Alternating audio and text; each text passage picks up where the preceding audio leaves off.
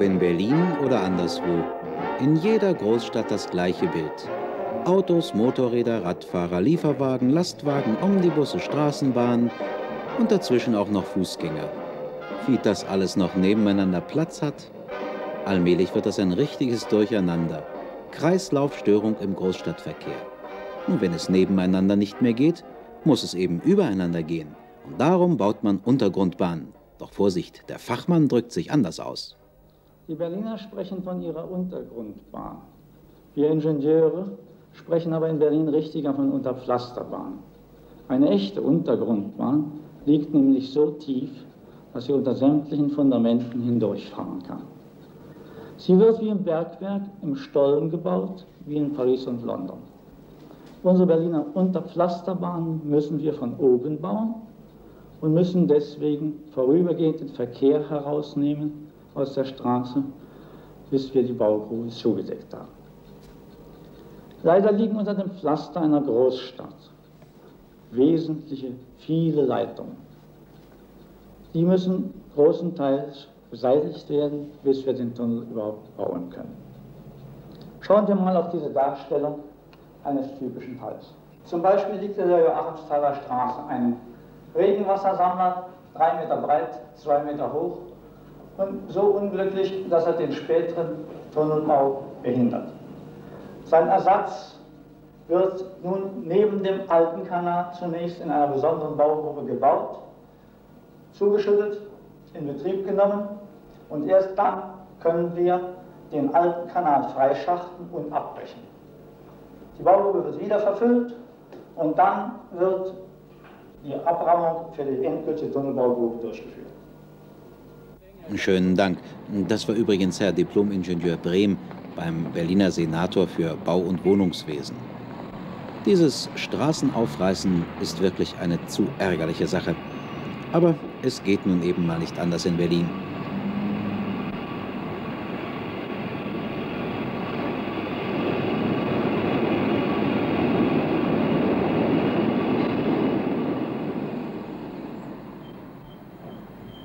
Dieser Leitungsaufriss ist zum Beispiel in einer ganz anderen Straße. Selbst in der weiteren Umgebung der eigentlichen Baustelle müssen noch Leitungen verlegt werden. Der Bau der U-Bahn verwandelt die halbe Stadt in einen Bauplatz. Oh, das kennen Sie ja, nicht? Kurfürstendamm, Ecke Joachimsthaler. Hier jagt eine Umleitung zwei andere. Wenn man da mit dem Wagen durchfährt, dann weiß man vor lauter Schildern schon gar nicht mehr wohin. Aber nicht die Ruhe verlieren. Eines Tages wird auch die U-Bahn fertig sein. Vorläufig rattern die Presslufthämmer.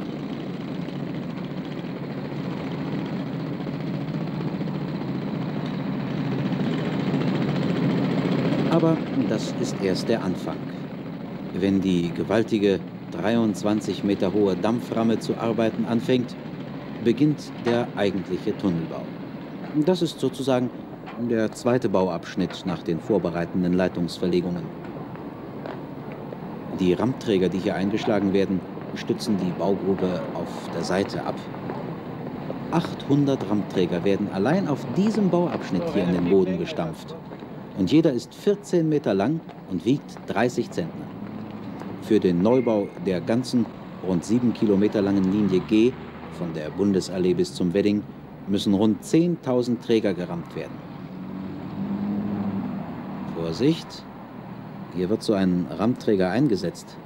Ah, man soll da nicht die Hand zwischenhalten.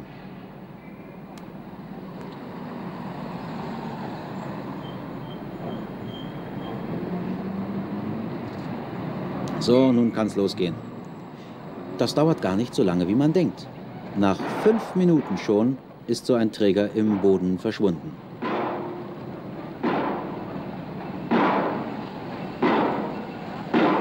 Ein ebenso interessantes wie eindrucksvolles Schauspiel. Immer wieder bleiben die eiligen Berliner stehen und gucken zu.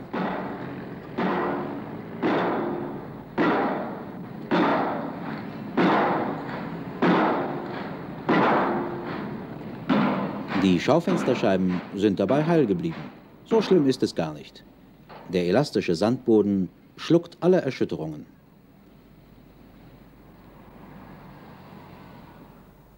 Für die Vorarbeiten wird zunächst einmal der Verkehr aus der Straße herausgenommen. Dann provisorischer Einbahnverkehr auf einer Seite. Die Rammträger werden eingeschlagen.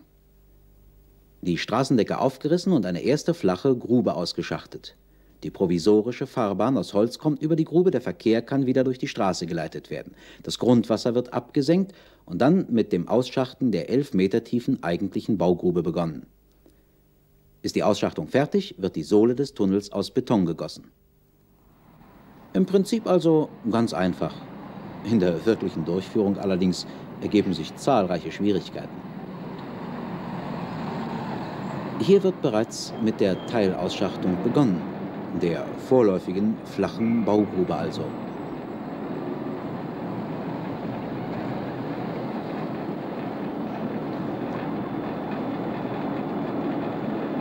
Doch nur wenige Meter weiter sind die Zimmerleute schon an der Arbeit.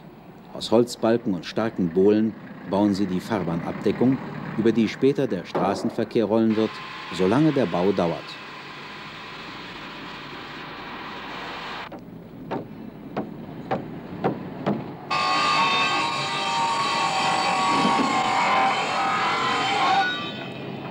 Jenseits der Kreuzung ist man bereits soweit. Die Fahrbahnabdeckung ist fertig. Autos und Omnibusse rollen über die Baugrube. Die Arbeiten wechseln nach einem genau berechneten Fahrplan einander ab. Die Fahrbahnabdeckung lässt einige Öffnungen frei. Greifbagger befördern hier den Sand ans Tageslicht. Und jetzt fahren wir hinab unter die Straße auf den Grund der Baugrube. Holzversteifungen sichern den Schacht ab. Fast eine Million Kubikmeter Boden müssen für die neue Linie G von der Bundesallee bis zum Wedding ausgehoben werden. Die großen Mengen Berliner Sand können übrigens anderweitig verwendet werden, beim Straßenbau, zum Zuschütten eines alten Kanals und sogar auch für andere U-Bahn-Baustellen. Ein mächtiger Schaufellader schiebt die Sandmassen zusammen. Ein großer Teil des Bodenaushubs besteht aus feinkörnigem märkischen Sand, der sich vorzüglich als Zuschlagstoff für die Aufbereitung von Beton verwenden lässt. Der U-Bahn-Bau wird wenigstens teilweise zum Selbstversorger.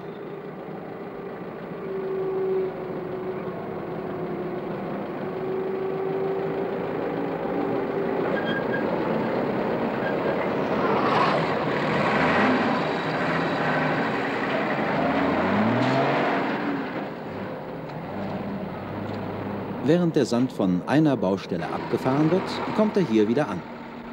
Fast ein Drittel des ausgehobenen Bodens, nämlich 300.000 Kubikmeter, wandert zur Überschüttung des fertigen Tunnels später wieder in die Tiefe. Die Bauverwaltung hat es nicht einfach. Schon Monate vorher müssen die Wünsche von Gas- und Elektrizitätswerken, der städtischen Verkehrsbetriebe, der Polizei, der Anlieger und schließlich auch der Baufirmen minutiös aufeinander abgestimmt werden, damit alles klappt.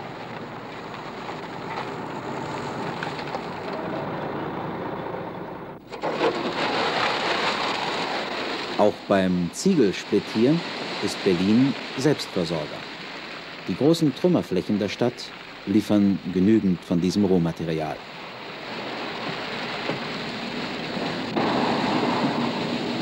Allerdings wird der vorhandene Ziegelsplitt höchstens noch für den Bau dieser einen Linie ausreichen.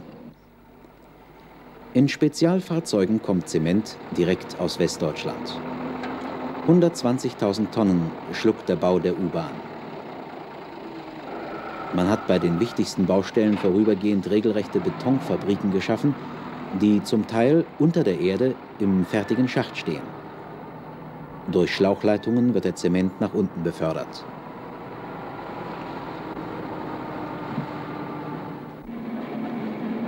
In der unterirdischen Fabrik wird der Beton von Mischmaschinen aufbereitet.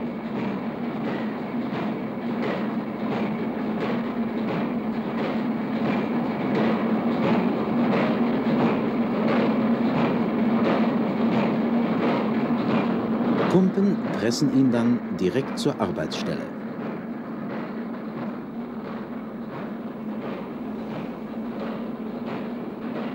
Der Guss der Tunnelsohle hat bereits begonnen.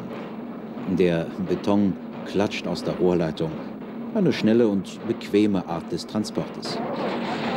Dieses Gerät versetzt den Beton in schnelle Schwingungen und rüttelt ihn dadurch zusammen. Wenn die Sohle fertig ist, beginnt der zweite Teil der Fertigstellung des Tunnels. Auf der Sohle werden die Seitenwände hochgezogen. Das Grundwasser steigt wieder an. Mit der Decke ist der Tunnel geschlossen.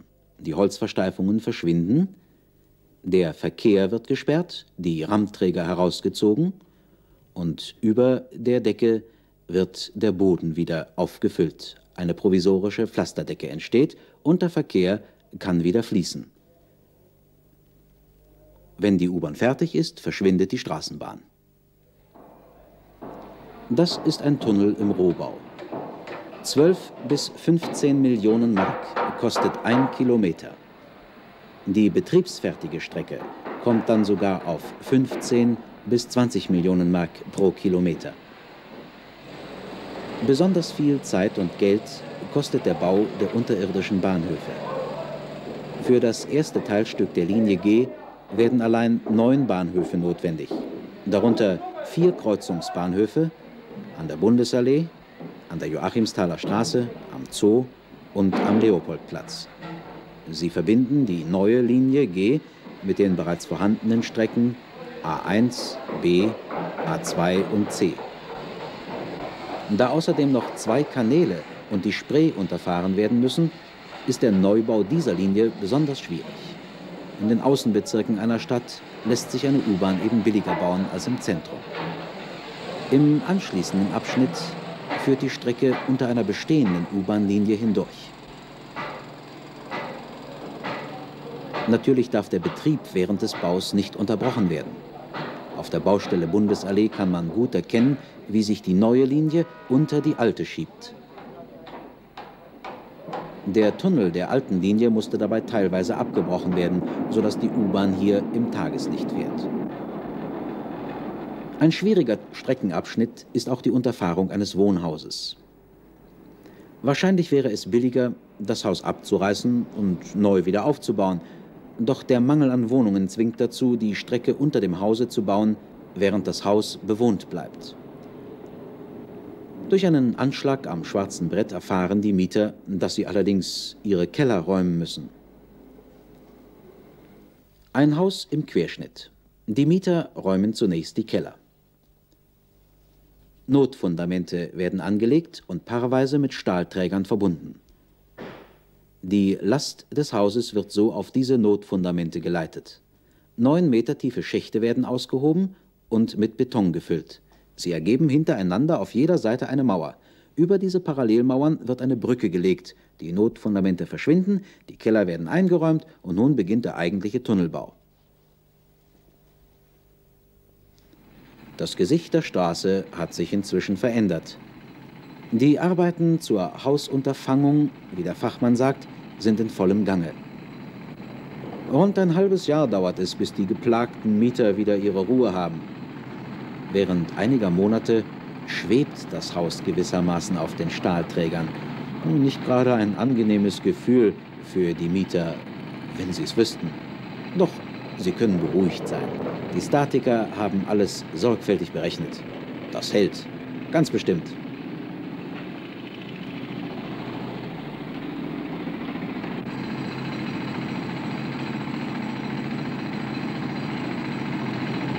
Den Krach allerdings, den kann man nicht verhindern.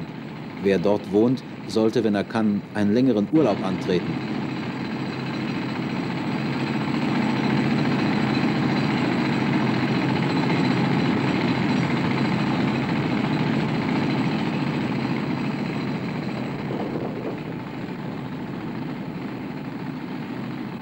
Hätten Sie zum Beispiel gerne eine arbeitende Betonmaschine unter Ihren Kellerfundamenten? Übrigens, die Hausunterfangung ist inzwischen beendet und die Bewohner der Straße haben das Ärgste überwunden. Bald werden auch die letzten Bauarbeiter aus dem Straßenviertel weggegangen sein. In der Nachbarschaft herrscht allerdings heute noch Betrieb. Dutzende von Wasserpumpen arbeiten Tag und Nacht an der Baustelle Spree-Unterfahrung, dem teuersten Abschnitt der Strecke. Die Pumpen fördern jeden Tag 80.000 Kubikmeter Wasser. Das sind etwa eine Million Badewannen voll pro Tag. Das Absenken des Grundwassers auf allen Baustellen verschlingt allein 8 bis 10 Prozent der Bausumme, also etwa 1 bis 1,5 Millionen Mark für den Kilometer. Der Tunnel unter der Spree entsteht in zwei Abschnitten. Rechts fahren noch die Schiffe, auf der linken Seite schaut man schon tief hinunter in die für den Berliner U-Bahn-Bau so typische offene Baugrube. Im Innern der Baugrube kann man hier gewissermaßen unter dem Grund des Flusses spazieren gehen.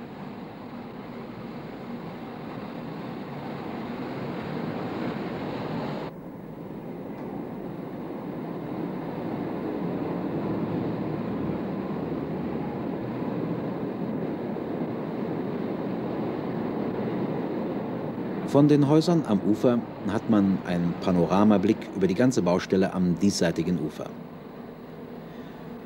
Zunächst wird eine Spundwand als halbrunder Vorbau angelegt. Zwei weitere Spundwände grenzen den Bauschacht ab. Das Wasser wird ausgepumpt, dann beginnt die eigentliche Arbeit auf der einen Seite. Ein Reiterfangedamm schließt die fertige Hälfte ab.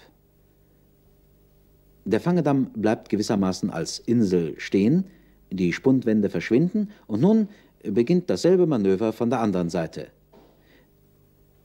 Wenn die andere Seite fertig ist, werden auch hier die Spundwände herausgenommen, die Trennmauer zwischen beiden Hälften durchstoßen und der Tunnel ist fertig. Der Schiffsverkehr kann wieder uneingeschränkt passieren. Unser Panoramablick hat sich geändert. Ein halbes Jahr später. Und die Baustelle sieht ganz anders aus. Die Vorwölbung zur Mitte des Flusses geht nun vom jenseitigen Ufer aus. Die Schiffe fahren auf dieser Seite vorbei.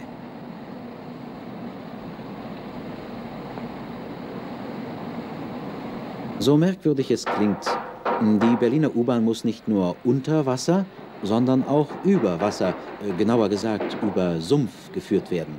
Manchmal liegt eine Schicht von Faulschlamm so ungünstig, dass ein Pfahlrost den U-Bahn-Tunnel tragen muss. Nicht immer können die Rammträger und Pfähle mit den gewaltigen Rammen eingeschlagen werden, wie wir sie vorhin gesehen haben.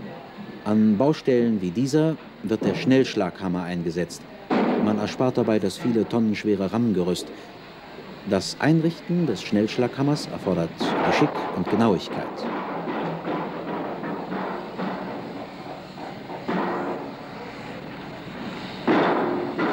Ein Gewirr von Versteifungen und Stützen sichert wie überall auch hier die Baugrube.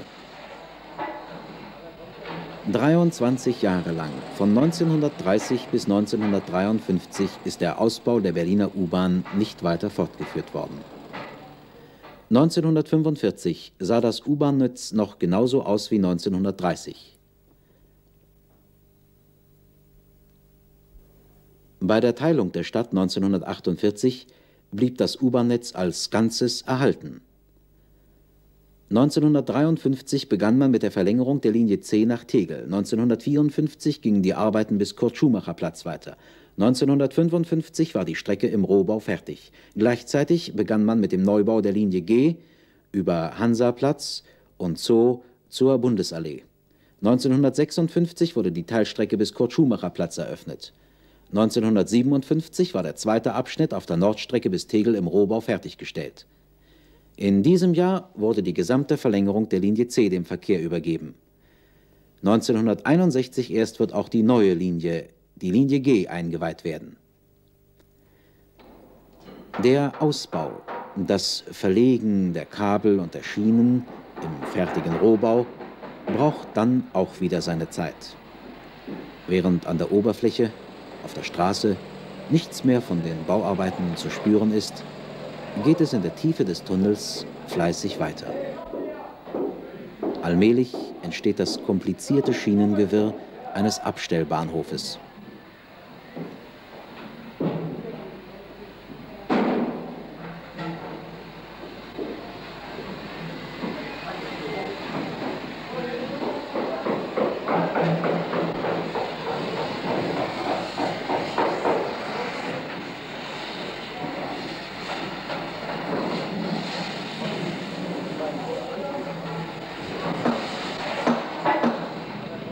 Bei der Schwellen- und Schienenverlegung benutzt man moderne, zeitsparende Hilfsmaschinen.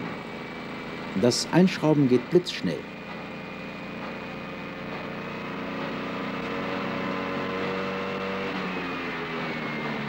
Und wenn die letzte Schraube festgezogen ist, fährt schon der erste Zug. Erst allerdings ein Versuchszug. Die Strecke wird mehrmals abgefahren und noch einmal genau untersucht. Das Lattengestell am Zug soll das Profil des Tunnels abtasten. Auf der Signaltafel leuchtet eine Lampe auf, wenn die Fühler des Lattengestells irgendwo anstoßen. Hier ist es oben links zum Beispiel ein Abflussrohr, das zu weit in den Tunnel hineinragt und prompt leuchtet die Kontrolllampe auf und zeigt das Hindernis an. Die Leuchttafeln an den Stellwerkpulten und die Signalanlagen werden zum letzten Mal durchprobiert. Und dann endlich, nach vierjähriger Arbeit, ist es soweit.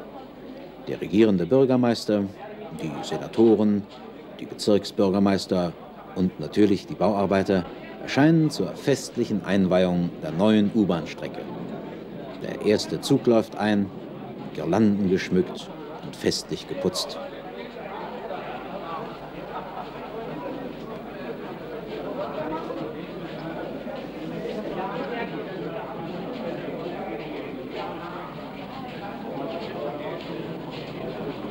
Der Stationsvorsteher hebt zum ersten Mal die Kelle zur Abfahrt nach Tegel.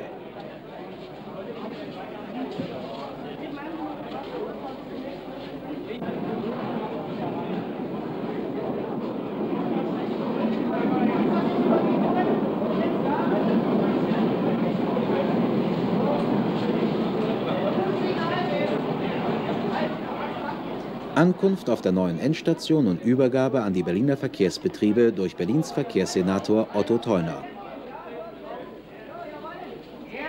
Ich übergebe diese Genehmigungsurkunde mit dem Wunsche, dass unsere Mitarbeiter, die Schaffner, die Fahrer, ihre Gäste immer so nett und so liebenswürdig begrüßen, wie heute Morgen durch schön gekleidete, nette junge Damen mit einem Strauß von Blumen Sie werden nicht immer Blumen zur Hand haben, aber im Geiste, glaube ich, werden das unsere Mitarbeiter tun. Und der Dank und die, Berlin und die Liebe der Berliner ist dann unserer BVG gewiss.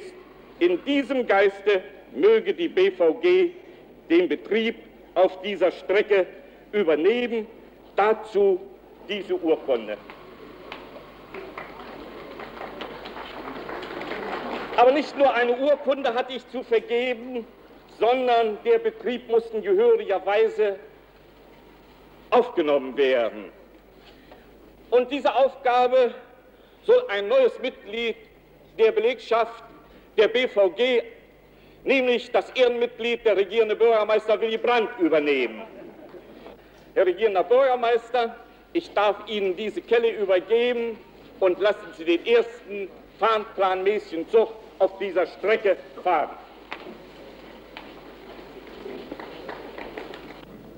In der Hoffnung, dass der Tag nun doch näher rückt, trotz all der Schwierigkeiten, die uns in der Welt umgeben, an dem hier in Berlin wieder zusammengefügt sein wird, was zusammengehört.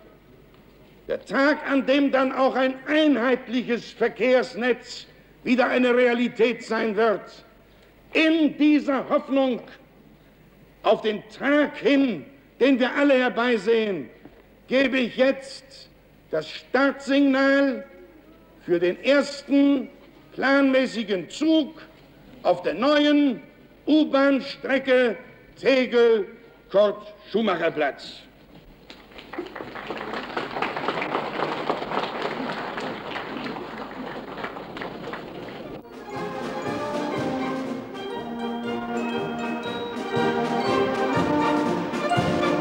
Für Tegel war dieser Tag ein Volksfest.